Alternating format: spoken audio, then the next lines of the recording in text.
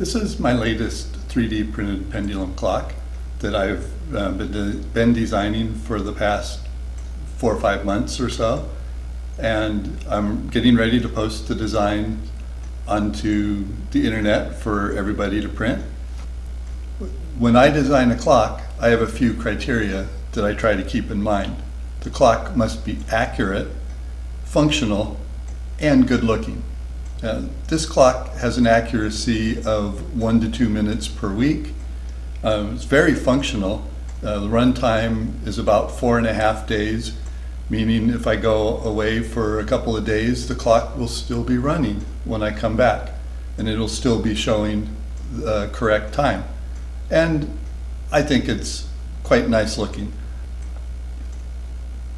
If I have a clock that I'm spend hours and hours building, I'm going to want to look at it. I'm going to want to see how everything works. Therefore, large exposed gears, you know, what, that extend well beyond the frame of the clock. The escapement is up front, on top, very large, and very visible.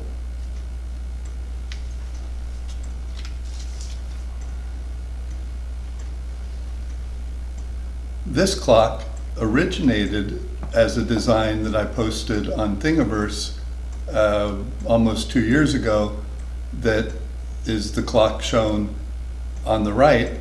And the new clock is significantly larger and fundamentally it operates pretty much the same, just that the, the gears were made much larger. One of the issues I noticed on my original clock is that it had an escapement similar to a traditional clock design. It looks like the, the one that I'm holding right now. The, the teeth are very sharp and pointed, and this works great on a, a brass clock built using methods uh, that were designed hundreds of years ago. What I found out was it doesn't necessarily print very well. Uh, it can be printed, but the sharp pointed teeth ended up rounded off. The, the, the printer just couldn't print all the way to the tips. And I had to compensate by increasing the size to create an accurate escapement.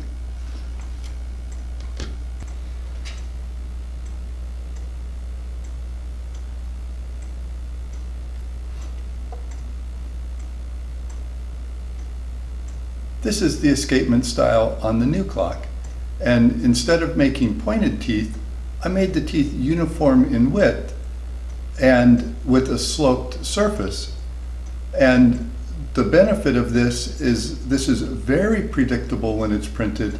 The length and hence when the escapement ticks and tocks is much more predictable and it made it much easier to print uh, different users with different printers are going to have much more consistent results. Another thing you'll notice on this gear is that all of the spokes and even the center hub are all made the same width. I've, got a description in the assembly notes that describe and show how this is how it prints.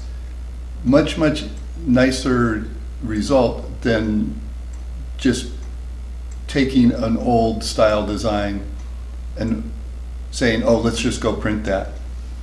Another thing that you notice is the pinions for every gear are integrated, but they don't start forming until they're needed. Sometimes the pinion may be way down at the end of the shaft, in which case the shaft prints, the pinion starts forming, everything gets printed in one piece, that's an advantage of something that you can do for 3D printing.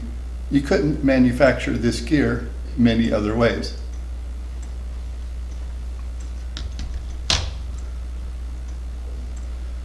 Those characteristics of uniform widths of each of the components in the, the gears was carried through on all of the gears.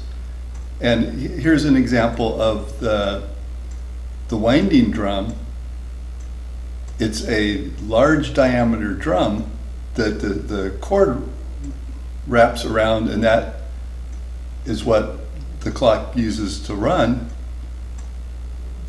But the gear was designed specifically to be optimal for 3D printing.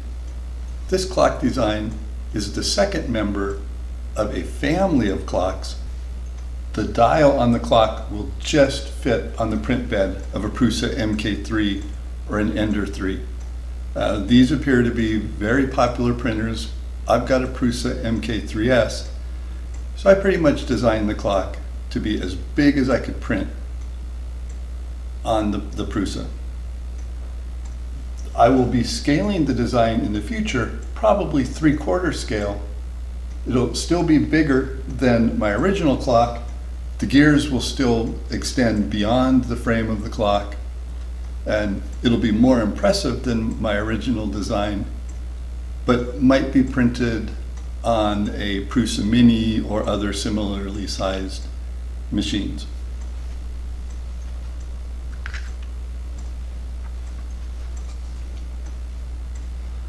Another thing that I'm planning to do is at some point convert this design into a wooden gear clock. This is still a work in progress, but I think the design can be ported.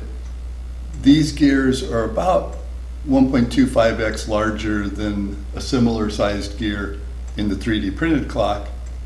Not sure what it's going to do to the runtime. I might end up down around three, maybe four days if I'm lucky, but probably closer to a three day runtime. This is a solid wood gear. I'll be describing the process of how I made this and how it will avoid changes with humidity, uh, hopefully make a functional clock gear that doesn't get distorted uh, during the winter or summer when humidity changes.